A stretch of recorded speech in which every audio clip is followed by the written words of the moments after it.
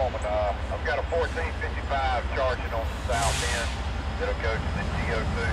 By the time they get around here, it'll be nice charged up.